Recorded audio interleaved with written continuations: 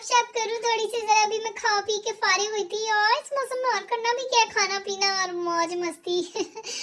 खाया मैंने क्या था? आप लोग सोच रहे होंगे, अलसी के लड्डू खाए। मेरी एक दोस्त ने मुझे खिलाए। मैं अक्सर सोचती थी, ऐसी मेहनत वाली चीज़ें कैसे लोग खिला देते किसी को? लेकिन जब उसने मुझे अलसी के लड्डू खिलाए, मैंने कहा जन्नती लोग होते हैं। देखे, ऐसे भी लोग इतने बड़े बड़े दिल के कि देखो, उसने मुझे अलसी के लड्डू खिला दिए। इतनी मेहनत वाली चीज़ है इतनी मेहनत से बनते हैं और उसने मुझे एक लड्डू पूरे खिला दिया। माशाल्लाह, मैं कहती हूँ। देखो, जन्नती लोग। ऐसे लोगों को देख के ना आप हिम्मत पकड़ते हो यार, अभी भी दुनिया में नेक लोग हैं, नेक रूही हैं, अभी भी ज़िंदा हैं। देखो, इनसे कोई सबक पकड़ो। अब आप देखिए, हमारे घर में शामी कबाब बन जाए तो भाभी ऐसे मुँह बनाती है, अगर मैं बना लूँ ना किचन में जाके। ऐसे देखती मुझे कि इसने शामी कबाब बनाए मैं दो तो बंदा खा ही लेता है वो एक से तो ना बनाती भी चुने चुने पता नहीं क्यों कंजूस मारी। वैसे उसको मैं क्या कहूँ, अम्मी भी हमारी बचपन से ऐसी हैं कि, नहीं नहीं, ये इमरजेंसी है इमरजेंसी बंदा पूछे, केड़ी इमरजेंसी पे भूख लग रही है, नहीं, सालन पसंद आ रहा और कभी कभी सालन के बाद भी दिल करता है, भूख लग जाती है इस मौसम में। आपको पता ही है फिर।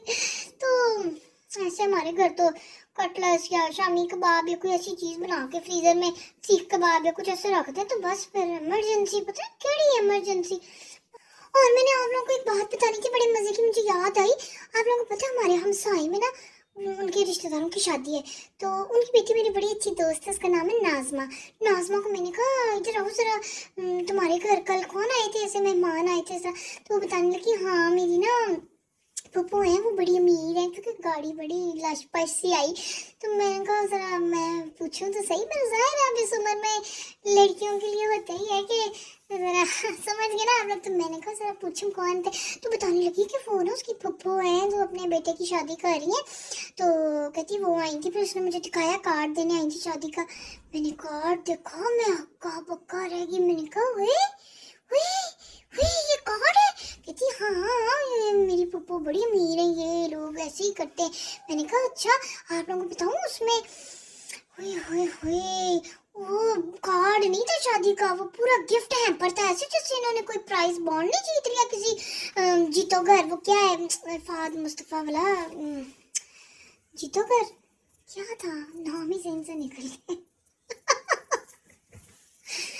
चलिए खैर, आप लोगों से अब क्या छुपाना नहीं, थोड़ा सा याददाश्त का भी मेमोरी का भी मसला हो जाता है। अच्छा खैर तो वो उसका दिमाग में तो नहीं है। जीतो गया था क्या था? जीतो पाकिस्तान हाँ। तो जीतो पाकिस्तान जैसे नहीं कि कोई जीत जाता।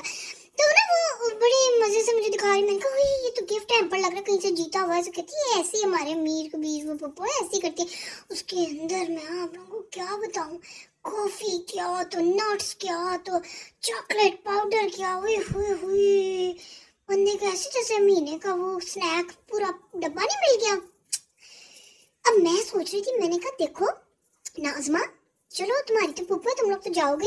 लेकिन अगर कोई जैसे नहीं कभी होता किसी शादी पे मूड के गोली खिलाओ गोली खिलाओ, हम कहते हैं कि नहीं जाना। ज़ाहिर ना सलामी के पैसे होते हैं, कोई डिपेंड करता है ना हालात पे, अब आप लोगों से क्या छुपाना। कि बंदे का कभी ये होता है कि चलो ये गोली खिलाओ, शादी इस पे जाना ज़रूरी नहीं लेकिन अगर ऐसा इन्विटेशन आया हो तो बंदा कहता है वे उनका चॉकलेट पाउडर बना बना, मैं खा रहा हूँ नट्स खा रहा हूँ, ये कॉफ़ियाँ पी रहा हूँ तो उनकी शादी पे नहीं जाना। बंदे का ज़मीर ही उसको इजाज़त ना दे हुँ? और बंदा जाए, ज़रूर जाए। फिर एक और प्रेशर डब्बा पता नहीं कितने का पड़ता होगा, ये इस तरह का गिफ्ट हैम्पर वाला, लेकिन बंदा सलामी भी, मैं कहती हूँ, फिर हल्की ना दे। बंदा के अगले ने कॉफियाँ डलवाई घर में, है? वो जैसे पुराने ज़माने में राशन नहीं डलवाते थे। मैं तो बड़ी इम्प्रेस हुई। मैंने कहा एक तो पक्का काम हो जाए कि इनवाइट किया तो अगला आएगा ही आएगा और ज़रा अच्छी सलामी लेकर आएगा। ये भी अमीरों का ही है, हमारा क्या है भाई? हम तो कार्ड भी चाहते हैं कि पेट्रोल ना लगे व्हाट्सएप ही कर दो। और हाँ मैंने आप लोगों को बताना था कि हम लोग ना डिनर पे गए। यंग यंग लोग ही मम्मी अबू वगैरह नहीं गए, बस मैं, भाभी, भाई नासरा बाजी नासरा बाजी के मियाँ भाई के दोस्त थे, भाभी की फ्रेंड्स वगैरह, ऐसे सब ना। तो वहाँ जाके ना बड़ा ही मज़ा आया। मैंने ऐसे सबको ऑब्ज़र्व करी, देख रही तो मैं देखा कि सारी ना हस्बैंड्स अपने बच्चों का बड़ा कर रहे ना। ऐसे पास बैठा के एक खिला रहा है एक, एक बच्चा माँ के पास है एक बच्चा बाप के पास है। तो मेरा भाई तो बड़े ऐसे है गोश्त देख के या खाना देख के ऐसे हबड़ हबड़ शुरू हो रहे तो उसको थोड़ी होता बच्चों का उस टाइम तो भाभी ना ऐसे नोट कर सबको भाभी को अंदर ही अंदर गुस्सा आ रहा होगा। तो पहले वो बड़ा बेटा उसको कहता है वॉशरूम जाना है। तो उसको वॉशरूम लेके गई। फिर गोद में भी बच्चा पकड़ा है उसको दूध बना रही कभी कुछ कर रही है। अंदर ही अंदर ना आग में गोला हो रही थी ऐसे सबको देख रही मैं तो साथ रहती मुझे तो पता था भाभी का कि इसको अंदर से बड़ी आग लग रही तो ना थोड़ी देर बाद ऐसे बच्चों को वॉशरूम लेके जा दूध बना के ना एकदम कहती है बड़े बेटे को ना कि आप जाए बाबा के पास बैठे बाबा आपको खिलाते हैं।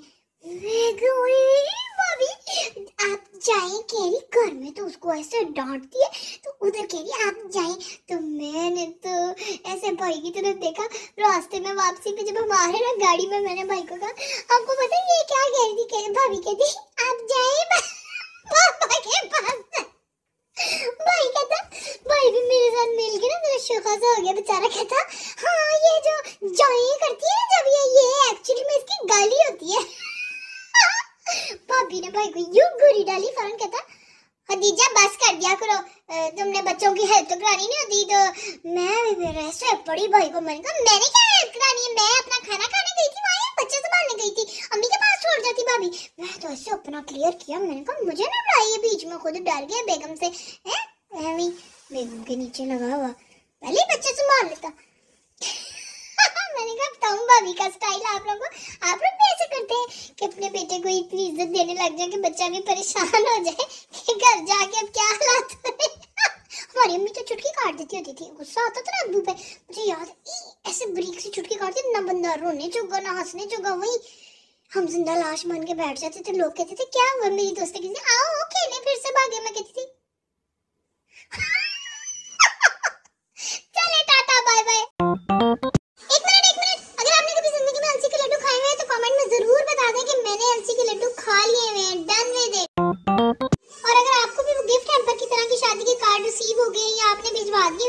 घर तो बस आप लाइक ही कर दें आप बहुत अमीर हैं, आपके पास टाइम नहीं है।